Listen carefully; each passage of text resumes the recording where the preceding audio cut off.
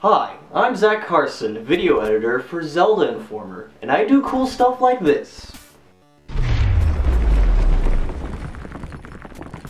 So I do all the video magic.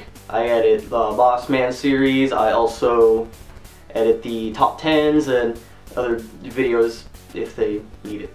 A little bit about myself, I went to animation school, study a little bit on animation and a tad on game design, and that's also where I actually found my true passion for video editing, and that has been my main focus ever since. I'm also a musician. I can play an array of instruments. I can basically figure it out if it's got strings. I also took up oil painting as a hobby. This is only my second attempt, so it's not, it's not that good. What is my favorite Zelda game?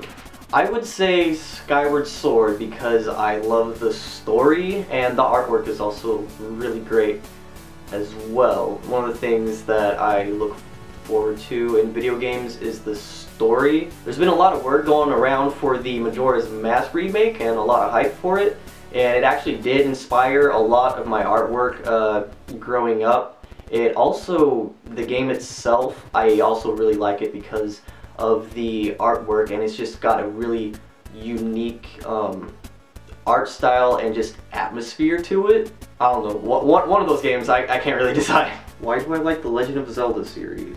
I think I like it because uh, growing up I was the kind of kid that kind of, you know, stayed out of trouble and wanted to do the right thing and I kind of got made fun of a lot for that.